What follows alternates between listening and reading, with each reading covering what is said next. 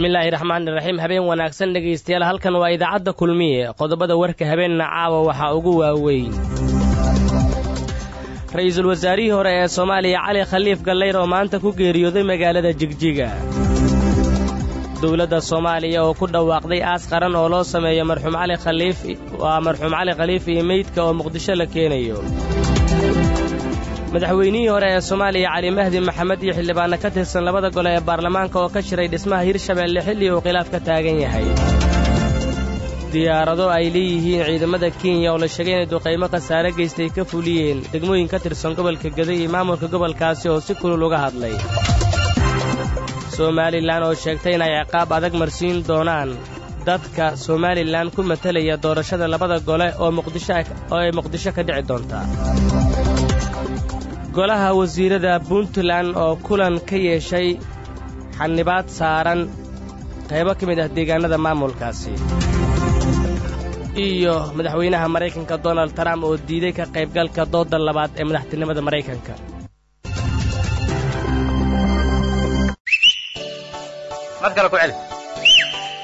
war bal warran maxaan kaaga warramaa. Xaaladda dalka dee ma run baad rabtaa mise been? Run baan rabaa beenraad ma leh kulmiye ka dhegayso. Wayna kaa haddaba mar kale habeen wanaagsan waa khamiis ay jimca soo gelayso taariikhdana waxay tilmaamaysaa siddeedda bisha tobanaad ee oktoobar laba kun iyo labaatan. Warka oo dhan waxaa la diyaar ah cabdisataar xaaji cali. Aad baad u mahadsan tahay cabdiqani cabdulaahi ibraahim habeen wanaagsan dhegaystayaal ku soo dhowaada. Warkii oo dhan ra'iisul wasaarihii hore ee soomaaliya cali khaliif gallayr ayaa maanta ku geeriyooday magaalada jigjiga ee dowlad deegaanka soomaalida ethoobiya geesta kalena dowladda soomaaliya ayaa ku dhawaaqday in aas qaran loo samaynayo. Marxuum cali khaliif gallayr sidoo kale waxay sheegtay dowladdu in meydkiisa la keeni doono magaalada muqdisho ee caasimadda soomaaliya. Yunis duran cali ayaa dhammaystiraya faahfaahinta allaha u naxariistee waxaa magaalada jigjiga ee xarunta dowlad deegaanka gobolka soomaalida etoobiya gelinkii dambe ee maanta hoteel ku yaal ku geeriyooday. Ra'iisul wasaarihii hore ee dalka marxuum cali khaliif galeer. Marxuumka ayaa la sheegay in uu xanuunsanayay labadii maalinee la soo dhaafay waxayna dadka ku noqotay geeridiisa mid degdeg ah. Marxuumka ayaa horey wuxuu xilo kala duwan uga soo qabtay dalka waxaana mar uu ahaa hogaamiyihii maamulkii la magac baxay khaatuma state oo ka arrimin jiray gobollada sool iyo sanaag waxaana uu xilka ra'iisul wasaaraha dalka ahaa. Intii u dhexaysay siddeeddii oktoobar sannadkii labada kun ilaa siddeed labaatankii oktoobar sannadkii labada kun iyo kowdii. Allaha u naxariistay cali khaliif waxa uu ku dhashay magaalada laascaanood ee xarunta gobolka sool sanadka markuu ahaa kun sagaal boqol afartan iyo kowdii. Cali khaliif galeer waxa uu ahaa aqoon-yahan darajada tacliinta maadiga ka gaaray b h d. Waxbarashadiisa aasaasiga ahayd ilaa dugsiga sare waxa uu ku soo qaatay magaalada shiiq ee gobolka togdheer waxa uu ahaa macallin halka sidoo kale ahaa shaqaalo dowladeed oo qaybo kala duwan oo dowladnimada ka soo shaqeeyey. Master galeer waxa uu ka qayb galay siyaasadda soomaaliya wixii ka dambeeyey kun sagaal boqol lixdan iyo lixdii. Sidoo kale waxa uu ka shaqayn jiray sidoo kale waxa uu ka shaqayn jiray warshadii sokorta oo ku taalla magaalada jowhar isagoona la shaqayn jiray warshadaha caalamka gaar ahaan kuwa ingiriiska isagoona mar soo noqday wasiirkii warshadaha ee dowladdii gacaanka iyo marxuumka waxaa loo doortay inuu ka mid noqdo baarlamaanka soomaaliya. Ilaa marxuumku wuxuu brofesoorka ahaa jaamacad ku taalla dalka maraykanka allaha u naxariistee marxuum cali khaliif ayaa sidoo kale waxa uu ka mid ahaa dadkii ka qayb shirarkii carta ee jabuuti lagu qabtay sanadka markuu ahaa kun madaxweynihii dowladdii ku-meel gaarka ahayd cabdiqaasin salaad xasan ayaa waxa uu magacaabay ra'iisul wasaaraha soomaaliya. Cali khaliif waxa uu sannadkii labada kun iyo kowdii ciidamadii etoobiya ka saaray gobolka gado ee koonfurta soomaaliya iyagoo haystay kun sagaal boqol sagaashan iyo lixdii ilaa sannadkii labada kun iyo kowdii madaxweynaha gobolka soomaalida etoobiya mustafa cagjar ayaa geerida marxuumka waxa uu saaray guddi iyadoo warar kala duwan geeridiisa ay ka soo baxayso. Dhinaca kale madaxweynaha soomaaliya maxamed cabdulaahi farmaajo gudoomiyaha golaha shacabka madaxda maamul goboleedyada iyo madaxweynayaasha hore ee dalka ayaa ka tacsiyeeyey geerida marxuum khaliif. Gudoomiyaha aqalka sare ee baarlamaanka soomaaliya cabdi xaashi cabdulaahi oo la hadlay warbaahinta ayaa ka sheekeeyey taariikhda iyo aqoonta uu lahaa. Ra'iisul wasaarihii hore ee dalka cali khaliif. Horta ilaahay ha u naxariisto oo jannadii firdowsaaga geey dadka soomaaliyeed oo dhan iyo eheladiisii nasamir iyo imaan ilaahay ka siiyo. Cali khaliif wuxuu ahaa aqoon-yahan soomaaliyeed oo dalkan muddo dheer ka shaqeeyey. Wax soo qabtay aqoontiisa ugu deeqay. Aniguna intaan hadda maskaxdaydu ilen waa maskax oday oo waa sii gaboobaysaa waxa weeye cali khaliif wuxuu ahaa wasiirkii warshadaha. Siddeetan iyo labadii intii ka horreysay kolkaa wuxuu ahaa wasiirkii bilaabay warshadda mareerey ee sonkorta ahaa ma garan karo siddeetan iyo labadiiba kolkaa dalka ka baxay. Maraykankii xaggaasuu aaday. Wuxuu soo noqday uu dalkan ku soo noqday labadii kun. Wuxuu ka qeyb galay shirkii carta ee soomaalida lagu heshisiinayey dowladdii qaranka soomaaliyeed kolkay burburtay kadib dowladdii lagu dhisay. Cali wuxuu ka noqday dowladdaas prime minister. Wasiirkii koowaad buu ka noqday. Halkanaa la yimid magaalada xamar muddo kolkaa halkan ay dowladda ku shaqaysay. Dowladdaasi muddadeedu ahayd shan sano ra'iisul wasaaraha xukuumadda soomaaliya maxamed xuseen rooble ayaa sidoo kale isna ka tacsiyeeyey geerida marxuumka waxaana uu sheegay in aas qaran loo sameynayo innaa lilaahi wa innaa ilayhi raajicuun. Waxaa na soo gaartay geeridii naxdinta laheyd ee doctor cali khaliif galeyr oo ahaa ra'iisul wasaarihii hore islamarkaana xilal muhiima ka soo qabtay soomaaliya. Waxaan halkan uga tacsiyadeynayaa ehelkiisa qaraabadiisa iyo dhammaan shacabka soomaaliyeed meel kasta ay joogaan waxayna dowladda soomaaliya u sameyneysaa aas qaran innaa lilaahi wa ilayhi raajicuun. Dalka itoobiya gaar ahaan magaalooyinka addisababa iyo jigjiga waxaa horey ugu geeriyooday dad bulshada soomaaliyeed aada u yaqaanaan kuwaasoo kale ah allaha u raxmadee axmed xasan cawke maxamuud cabdulaahi sangub daa'uud cali masxaf taasoo geeridooda ay maanta dadka ku hadalhayaan baraha bulshada ku kulanto waxna iska weydiinayaan guddi jigjigo loogu xil saaray geerida marxuum cali khaliif ayaa sheegay caawa in muqdisho biri meedka marxuumka la soo gaarsiin doono haddii alla idmo. Waxaa maanta magaalada muqdisho ee caasimadda soomaaliya kulan ku qaatay qaar ka mid a xildhibaanada labada aqal ee baarlamaanka soomaaliya kuwaasoo laga soo doortay deegaanada maamulka hirshabeelle siyaasiyiin madaxweynihii hore ee soomaaliya cali mahdi maxamed madaxweynihii hore ee hirshabeelle cali cabdulaahi cosoble saraakiil ciidan iyo odayaal dhaqan ayaa sidoo kale qayb ka ahaa kulankaasi. Inta badan shirkan ayaa diiradda lagu saaray xaaladda siyaasadeed ee hirshabeelle iyo sidii loo dhisi lahaa maamulka cusub maadaama maamulka hadda jira muddo xileedkiisii uu gebagaba yahay.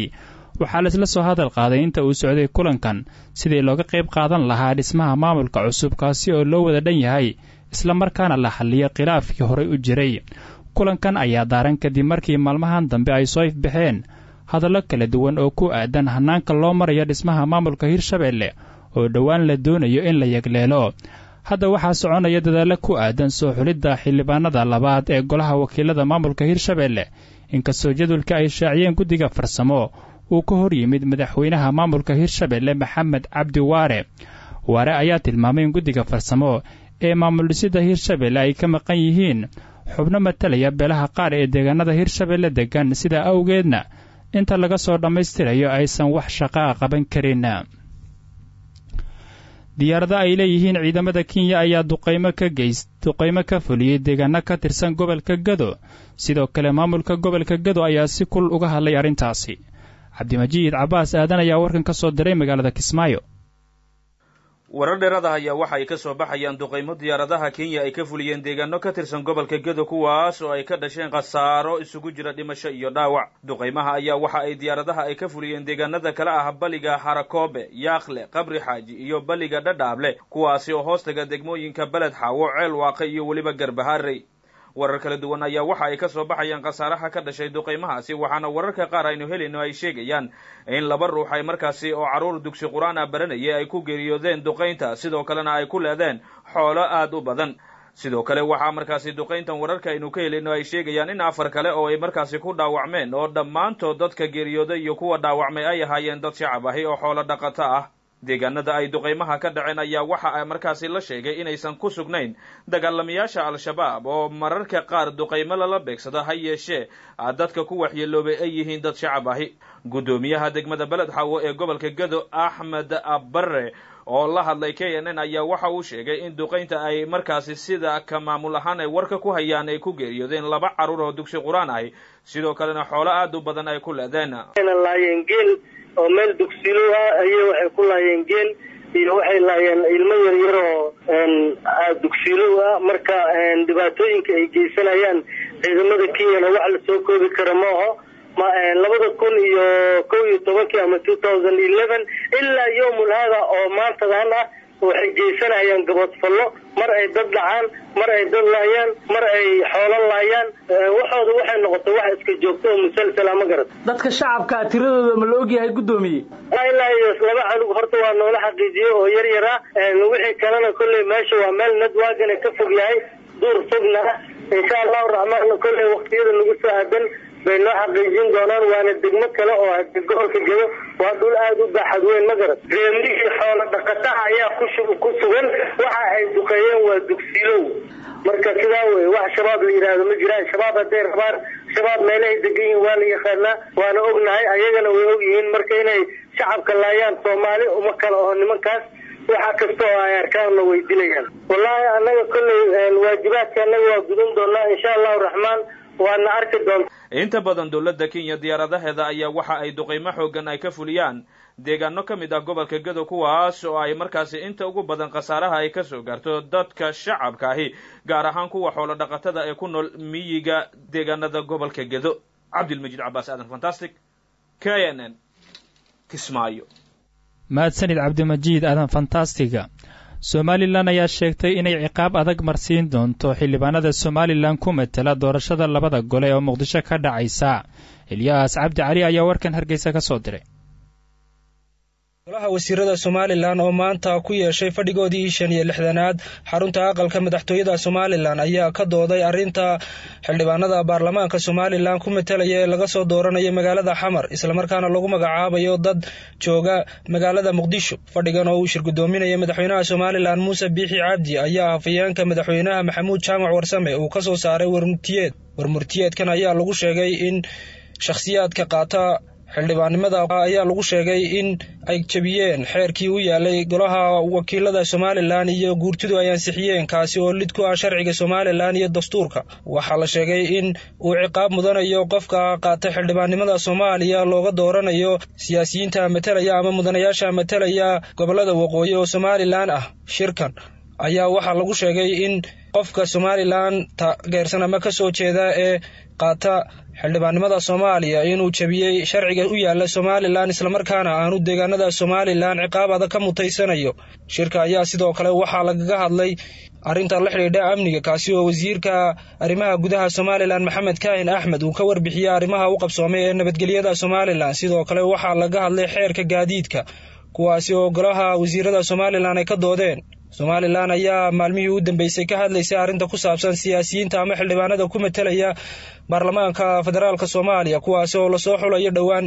Hadalkan ka soo yeedhay golaha wasiirada somalilan ayaan hore xukuumadihii hore uga hadli jireen iyadoo xukuumaduhu ay ka digi jireen in laga mid noqdo xildhibaanada baarlamaanka soomaaliya ku matelaya somalilan ilyaas cabdi cali radio kulmiye hargeysa golaha wasiirada maamulka puntland ayaa kulan ka yeeshay amniga xaaladda covid sagaal iyo toban iyo ayaxa cumar maxamed sooman ayaa faahfaahinta inoo haya.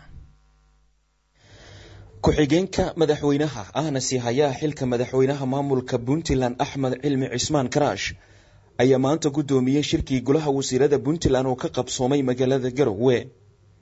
Inta badan xubnaha golaha wasiirada maamulka puntland ayaa shirka fadhiyey waxaana toddobaadkan lagu soo qaaday qodobo dhowr ah oo ay ka mid yihiin.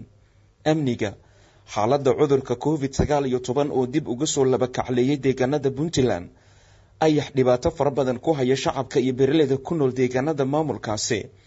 Bacaha iyo sarifka lacagta dollarka mareykanka iyo midda qalaad oo iminka dhibaatadeeda laga dareemaya deegaanada puntland. Xubnaha golaha wasiirada ee shirka ka qeybgelaya ayaa madaxweyne ku-xigeenka u gudbiyey sida iminka ay tahay xaaladda cudurka covid sagaal iyo toban. Wax ka qabashada dhibaatada ayaxa. Dhibaatada sarifka lacagta doolarka sida loo xalin lahaa iyo wax ka qabashada dhibaatooyinka dhinaca amniga. Afhayeenka madaxtooyada ayaa markii shirka uu soo dhammaaday kadib la hadlay warbaahinta isagoo faahfaahin ka bixiyey. Nuxurka qodobadii ugu muhiimsanaa ee shirkan lagu soo qaaday maanta waxaa qabsoomay shirkii toddobaadla ahaa ee khamiis kasta ee golaha xukuumadda ee dowladda puntland.